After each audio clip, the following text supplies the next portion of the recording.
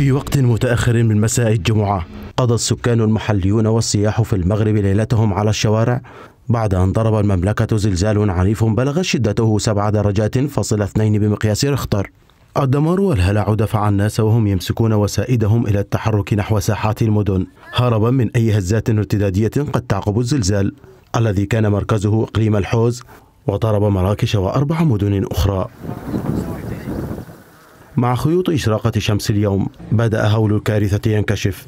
مئات الوفيات ومثلها من الإصابات وسط المباني المدمرة فضلا عن خسائر مادية كبيرة أخرى. منظمة الصحة العالمية أفادت بأن أكثر من 300 ألف شخص تضرروا في مراكش والمناطق المحيطة بها. تضررنا بزاف. تضررت المدينة القديمة وتضرروا الساكنة من من هذا الزلزال هذا وأخا كل شيء ديال الله تعالى ولكن تضررنا أخويا و... والناس مقصحة الناس باغا تدخل غير لدارها. دابا ما لاقياش كيفاش. ما لاقيينش كيفاش ندخلوا حتى للدار والدينا مكرفسين مرض وناعسين في الدار. ما شاء الله خويا وصافي.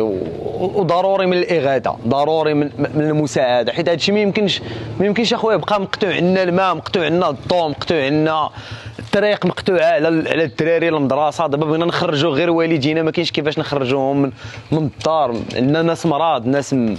ما شاء الله وصافي. وبحسب هيئة المسح الجيولوجي الأمريكية لم تحدث زلازل في المغرب من هذا المستوى ضمن مسافة 500 كيلومتر حول مركز الزلزال منذ عام 1900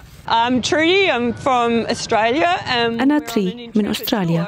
كنا في جولة هنا ثم ذهبنا إلى الغرفة للنوم ولكن لم ننم لأن الغرفة بدأت تهتز. كان الأمر مخيفا. كنا نتحرك ذهابا وإيابا وبدأ كل شيء يتحرك. فأحضرنا حقائبنا وبعض الملابس وخرجنا مسرعين.